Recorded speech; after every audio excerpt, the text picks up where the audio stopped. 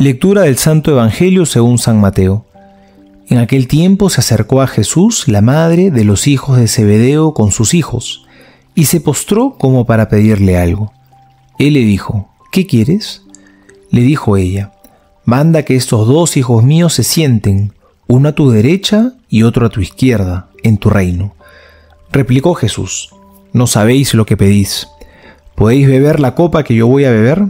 Le dijeron, sí podemos les dijo, mi copa la beberán, pero sentarse a mi derecha o a mi izquierda no es cosa mía concederlo, sino que es para quienes está preparado por mi Padre. Al oír esto los otros diez se indignaron contra los dos hermanos. Mas Jesús los llamó y les dijo, Saben que los jefes de las naciones las dominan como señores absolutos, y los grandes las oprimen con su poder, pero no ha de ser así entre ustedes sino que el que quiera llegar a ser grande entre ustedes será su servidor, y el que quiera ser el primero entre ustedes será su esclavo. De la misma manera que el Hijo del Hombre no ha venido a ser servido, sino a servir y a dar su vida en rescate por muchos. Palabra del Señor, gloria a ti, Señor Jesús. Celebramos hoy la fiesta de Santiago Apóstol y vemos este pasaje del Evangelio en donde Santiago y su hermano Juan le piden a Jesús los puestos de honor cuando venga en su reino. Al margen de la ambición humana que puede contener, muestra sin embargo la fe y la confianza que tenían en el Señor. Tenían plena confianza que Él era el Mesías y que la instauración de su reino era inevitable, es decir, el Señor iba a vencer. Por eso están dispuestos a compartir su cáliz. Cuando Jesús los pregunta, responden con un sí inmediato. Esto nos tiene que recordar, por un lado, que Dios nos llama también a nosotros a algo grande. Somos parte de un gran proyecto, el más grandioso de todos. Estamos llamados a participar con Cristo en la instauración de su reino. Con nuestras obras de caridad, alentados por la fe, colaboramos con Cristo a que su reino se haga presente en este mundo. Pero a pesar de la grandeza de ánimo de estos hombres santos, también vemos sus miserias. Jesús acababa de anunciarles que iba a ser sacrificado y que moriría en la cruz. No entendían que la gloria que Cristo les ofrecía no es la gloria humana, la de la fama y el poder. Jesús les hablaba del sacrificio, de la entrega por los demás, del amor que se hace concreto en el servicio, y ellos no entendieron. Y los otros días se molestan con estos hermanos, en el fondo porque ellos también anhelaban lo mismo que los, criterios del mundo no sean los que dirijan nuestra vida. El apóstol Santiago finalmente dio su vida anunciando a Cristo. Que nosotros también podamos encontrar nuestra grandeza en el servicio a los demás. Soy el Padre Juan José Paniagua y les doy a todos mi bendición, en el nombre del Padre y del Hijo y del Espíritu Santo. Amén.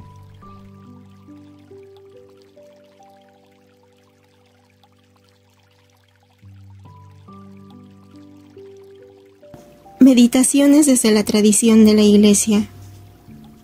San Francisco de Sales, Obispo. Sermón. Un matrimonio que dura toda la vida.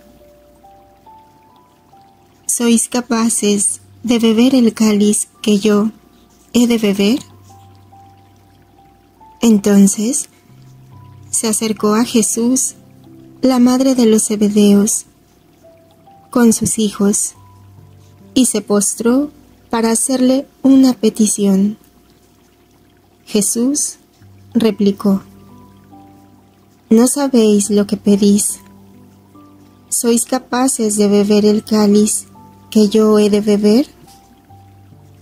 Contestaron, Lo somos. Qué grande es nuestra miseria. Queremos que Dios haga nuestra voluntad y no queremos hacer la suya más que cuando es conforme a la nuestra. La mayoría de nosotros, si nos examinamos bien, veremos que nuestras peticiones son impuras e imperfectas. Si estamos en la oración, queremos que Dios nos hable que venga a visitarnos, consolarnos y recrearnos. le decimos que haga esto, que nos dé lo otro. Y si no lo hace, aunque sea un beneficio nuestro, nos inquietamos, nos turbamos y nos afligimos. Nuestro divino Maestro les dijo, ¿podéis beber conmigo el cáliz que me está preparado? Y respondieron, podemos. Y él añadió, ¿sabéis lo que es beber mi cáliz? No creáis que es tener dignidades, honores, favores o consuelos. No. Beber mi cáliz es participar en mi pasión, soportar las penas y los sufrimientos, los clavos, las espinas, beber la hiel y, el vinagre.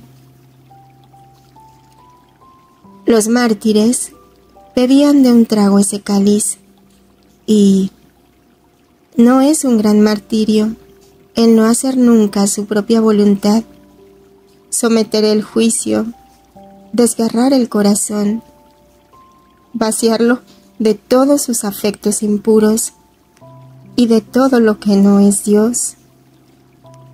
No vivir según nuestras inclinaciones y humores, sino según la voluntad divina y la razón,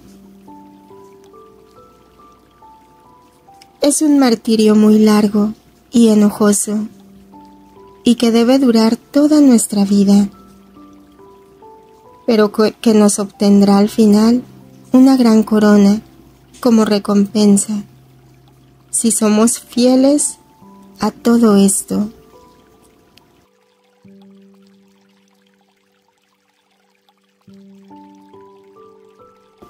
Beberán mi cáliz. Y se postró para hacerle una petición. Volumen 21, mayo 26, 1927. y viendo que no cedo a todas tus peticiones, te lamentas, y sintiendo que mi voluntad ha tomado puesto en toda tu alma, sin dejarte libre en nada, sientes toda la fuerza de la santidad e inmutabilidad de mi voluntad divina, y además, te lo he dicho tantas veces, que mis privaciones no son otra cosa que vacíos, que está haciendo mi justicia para golpear a los pueblos. Por eso, hija mía, no te abatas. Tú no sabes cuánto te amo y cuántos tesoros he puesto en ti. No puedo dejarte.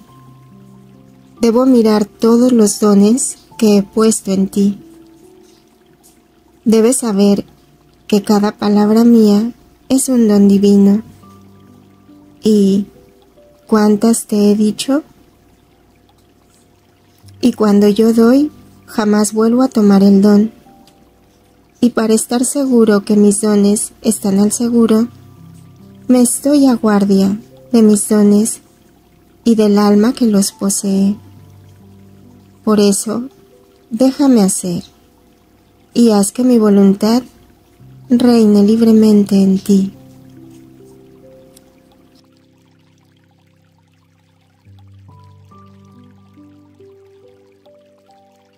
Y él le preguntó, ¿qué deseas? Volumen 11, julio 28, 1915. Hija mía, dime, ¿Qué deseas? ¿Qué quieres hacer? ¿Qué amas? Y yo te deseo a ti y que todas las almas se salven. Quiero hacer tu voluntad y te amo a ti solamente. Y él, Así que deseas lo que quiero yo. Con esto, me tienes en tu propio puño y yo a ti.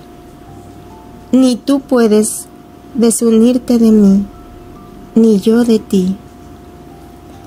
¿Cómo dices entonces que te he dejado? Luego, ha agregado con acento tierno, Hija mía, quien hace mi voluntad está tan fundido conmigo que su corazón y el mío forman uno solo.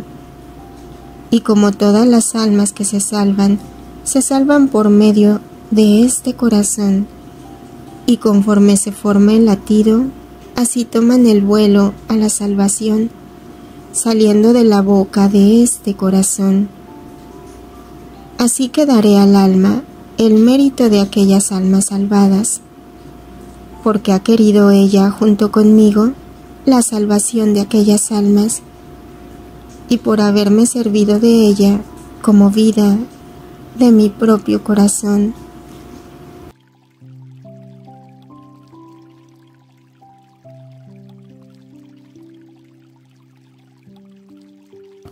Concédeme mis deseos Volumen 6, agosto 28, 1905.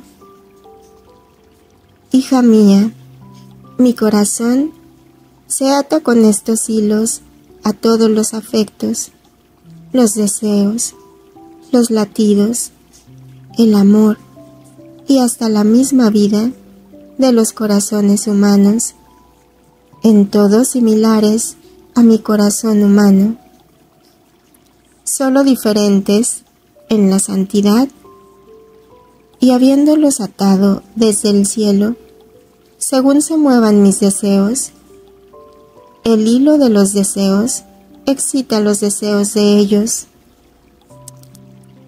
Si se mueven los afectos, el hilo de los afectos mueve los afectos de ellos.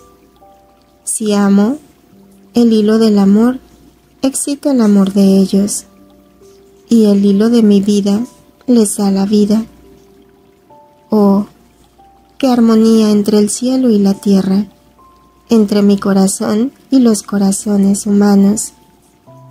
Y esto lo advierte solo quien me corresponde, pero quien hace algo de mala gana, con la actividad de su voluntad, nada advierte y manda al vacío las operaciones de mi corazón humano.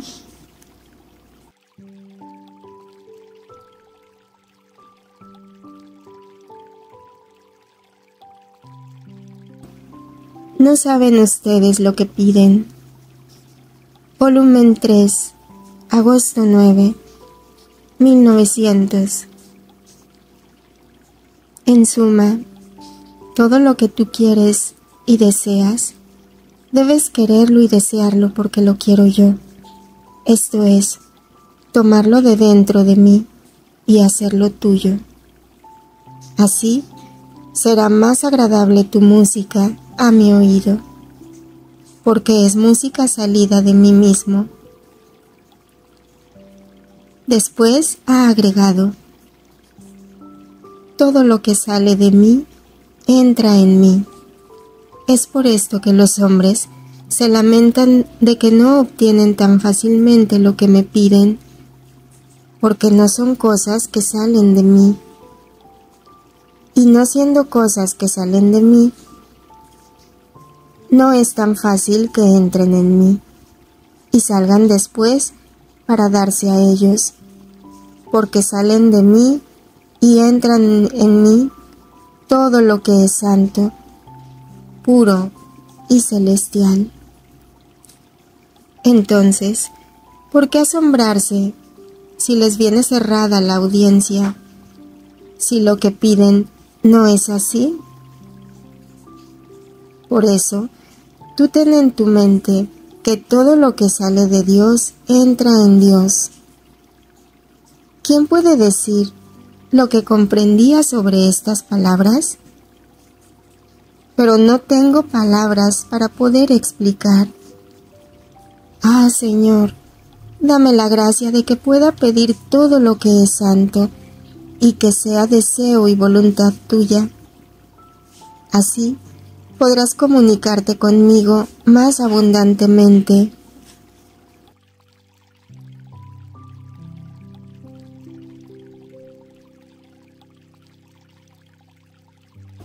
Volumen 16, diciembre 6, 1923.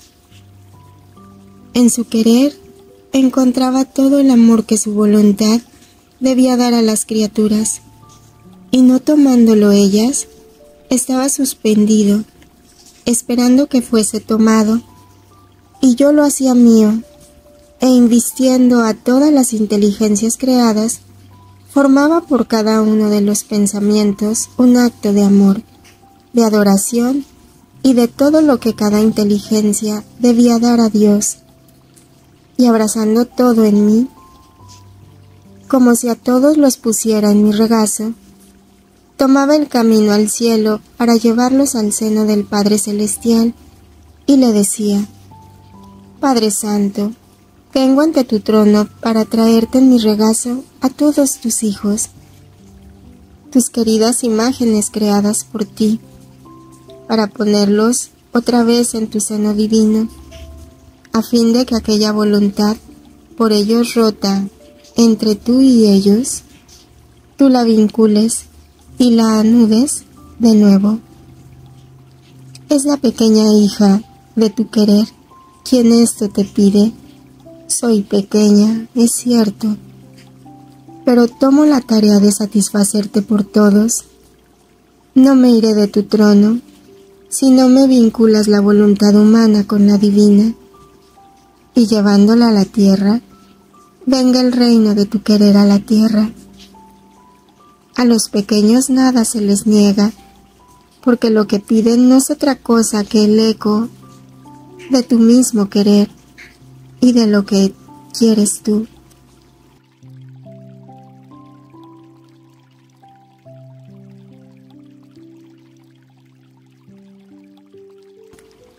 Beberán mi cáliz Volumen 6, abril 14, 1904. Continuando mi habitual estado, pero siempre con inmensa amargura en mi alma por la privación del bendito Jesús, y que a lo más viene cuando ya no puedo más, y después de que casi estoy persuadida de que no vendrá más. Entonces, cuando apenas lo he visto, llevando un cáliz en la mano, me ha dicho, Hija mía, si además del alimento del amor me das el pan de tu paciencia, porque el amor paciente y sufriente es alimento más sólido, más sustancioso y tonificante, porque si el amor no es paciente, se puede decir que es amor vacío, ligero y sin ninguna sustancia. Así que se puede decir que faltan las materias necesarias para formar el pan de la paciencia. Por eso, si tú me das este pan, yo te daré el pan dulce de la gracia. Y mientras esto decía, me ha dado a beber lo que estaba dentro del cáliz que llevaba en la mano, que parecía dulce, como una especie de licor que no sé distinguir y ha desaparecido. Después de esto, veía en torno a mi lecho a muchas personas forasteras, sacerdotes, hombres de bien, mujeres que parecían que debían venir a encontrarme, y algunos de ellos parecía que decían al confesor, Danos noticias de esta alma, de todo lo que el Señor le ha manifestado, las gracias que le ha hecho, porque nos ha manifestado el Señor desde 1882 que escogía una víctima, y la señal de esta víctima sería que el Señor la habría mantenido siempre en este estado como jovencita, tal cual como cuando le eligió sin envejecerse o cambiarse la misma naturaleza. Ahora, mientras esto decía, no sé cómo, yo me veía tal cual como cuando me acosté en el lecho, sin que hubiera cambiado en nada, por haber estado tantos años en este estado de sufrimiento.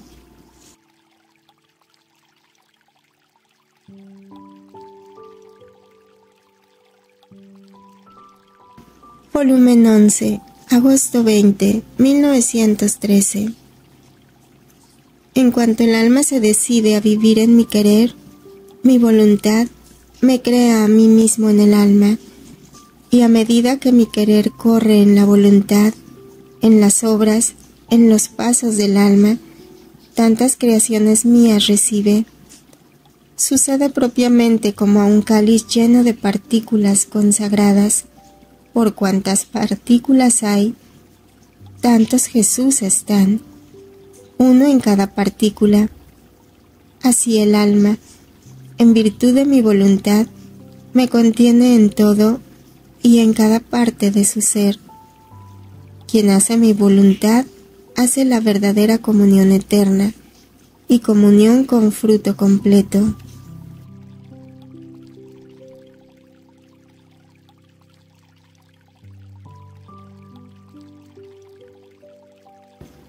Volumen 29, mayo 4, 1931. Hija mía, no quiero en ti las penas forzadas, sino voluntarias, porque las penas forzadas pierden la frescura, la belleza y el dulce encanto de la semejanza con las penas de tu Jesús, que todas fueron sufridas por mí en forma voluntaria, y son como aquellas flores marchitas como aquellos frutos inmaduros que la vista deseña y la boca no puede comer. Tanta es la falta de sabor y dureza de aquellas frutas. Tú debes saber que cuando elijo un alma, yo formo en ella mi habitación y quiero ser libre de hacer en mi casa lo que yo quiero y de estar como me agrada. No quiero restricciones de parte de la criatura. Quiero absoluta libertad. De otra manera, me volvería infeliz y estaría obstaculizado en mi modo de actuar.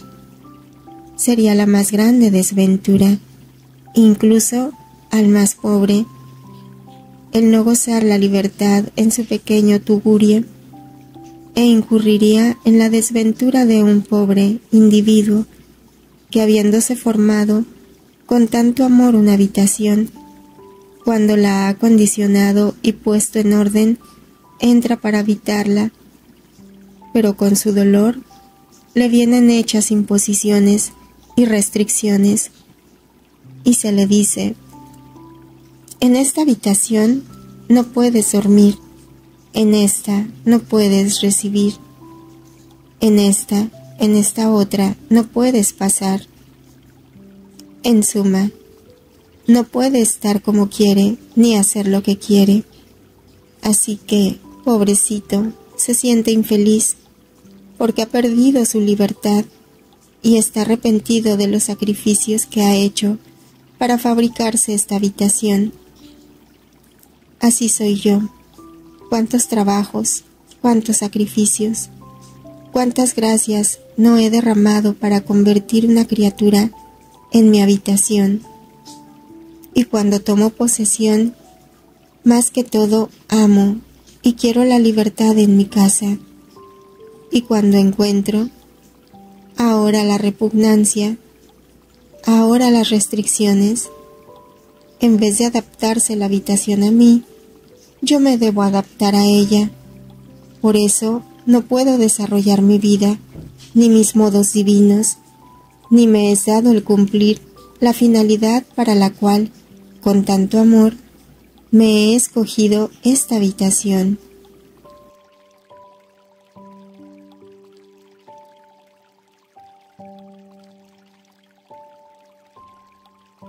Por eso, quiero libertad, y si quieres hacerme feliz, déjame libre de hacer lo que quiero